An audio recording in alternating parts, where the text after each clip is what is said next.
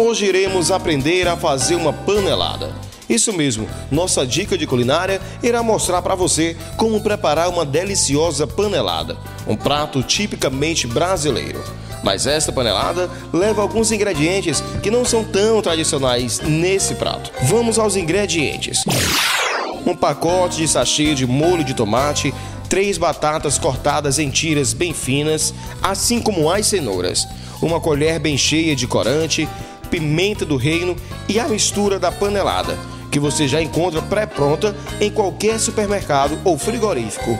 E agora é só misturar todos os ingredientes.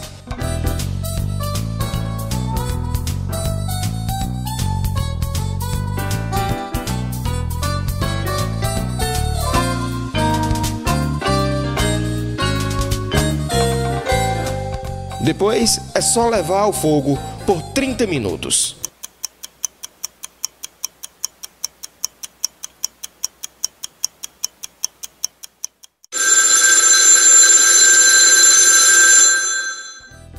Pronto, aí está a panelada, que pode ser acompanhada com um arroz branco e uma farofa deliciosa. A panelada é tipicamente brasileira, ela é um prato muito gostoso. Aqui no Nordeste é um prato que a gente utiliza no dia a dia, não precisa festa para ele.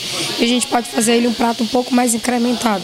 Colocar uma batata, uma cenoura, uma linguiça, uma azeitona, tornar ele um pouco mais, dar um upgrade nele, tornar ele um pouco melhor. Está super preparada, como a gente sempre fala, falta o que agora? Experimentar.